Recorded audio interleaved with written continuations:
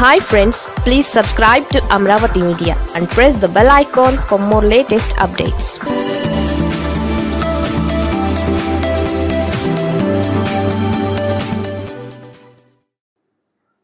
కాగల కార్యం తీర్చేసిన హైకోర్టు విపక్షాలకు ఇక no sound ఏపీలో వైసీపీ సర్కార్ అధికారంలోకి వచ్చిన తర్వాత ప్రభుత్వం తీసుకున్న పలు నిర్ణయాల్ని విపక్షంలో ఉన్న టీడీపీ బీజేపీ వ్యతిరేకిస్తూనే ఉన్నాయి. అయితే సున్నితమైన విషయాల్లో రాజకీయాలను వెతుక్కునేందుకు ప్రయత్నించడం విమర్శలకు తావిస్తోంది.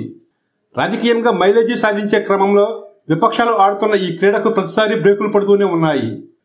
అయినా విపక్షాలు మాత్రం వెనక్కి తగ్గుతున్న సూచనలు ఎక్కడా కనిపించడం లేదు.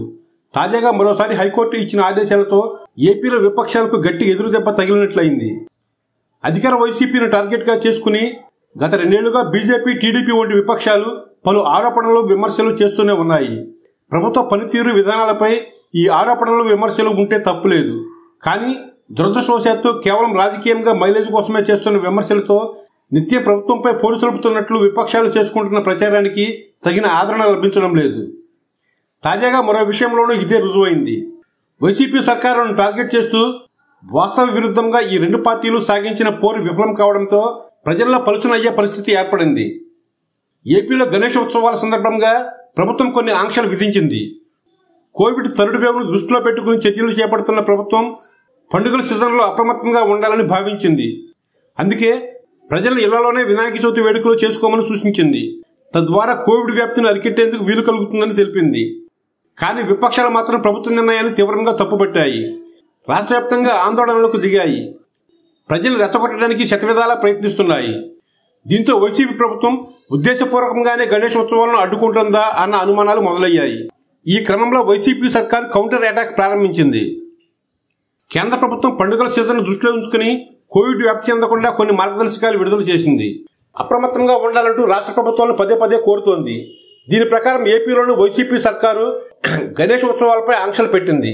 కానీ ఎప్పుడైతే విపక్ష బీజేపీ టీడీపీ దీన్ని రాజకీయం చేయడం మొదలుపెట్టాయో అప్పుడు వైసీపీ సర్కారు కూడా అప్రమత్తమైంది. కేంద్రం తీసుకొచ్చిన మార్గదర్శకాలనే తాము రాష్ట్రంలో అమలు చేస్తున్నామని తేల్చి చెప్పింది. అంతటితో ఆగకుండా మీకు చేతనైతే కేంద్రం వద్దకు వెళ్ళి కోవిడ్ మార్గదర్శకాలు మార్చమని చెప్పాలని సవాల్ విసిరింది. దీంతో కొంత ఆత్మరక్షణలో పడిన బీజేపీ ఈసారి హైకోర్టుపై ఆశలు పెట్టుకుంది. ఏపీలో గణేష్ ఉత్సవాలకు సంబంధించి హైకోర్టులో ప్రజా ప్రయోజన వ్యాజ్యాలు దాఖలయ్యాయి. వీటిని విచారణ జరిపిన హైకోర్టు గణేశోత్సవాలపై జగన్ సర్కారు ఇచ్చిన ఆదేశాలను సమర్థించింది. అయితే మతపరమైన కార్యక్రమాలను అడ్డుకునే హక్కు ప్రభుత్వానికి లేదు కాబట్టి బహిరంగ ప్రదేశాలకు బదులు ప్రైవేట్ స్థలాల్లో నిర్వహణకు అనుమతి ఇవ్వాలని సూచించింది. అంతే తప్ప గణేశోత్సవాలను యథాతథంగా నిర్వహించుకోవచ్చని మాత్రం చెప్పలేదు. దీంతో జగన్ సర్కార్కు హైకోర్టులో భారీ ఊరట లభించినట్లయింది. విపక్షాల నుంచి పెద్ద ఎత్తున విమర్శలు ఎదురవుతున్న క్రమంలో జగన్ సర్కార్కు హైకోర్టు ఆదేశాలు ఊరటనిచ్చాయి. గణేష్ ఉత్సవాలను యథాతథంగా నిర్వహించుకోవచ్చంటూ హైకోర్టు తీర్పు ఇస్తుందని గంపెడు ఆశలు పెట్టుకున్న విపక్ష టీడీపీ బీజేపీలకు రాష్ట్ర అత్యున్నత న్యాయస్థానం ఆదేశాలు చెంపపెట్టులా మారాయి.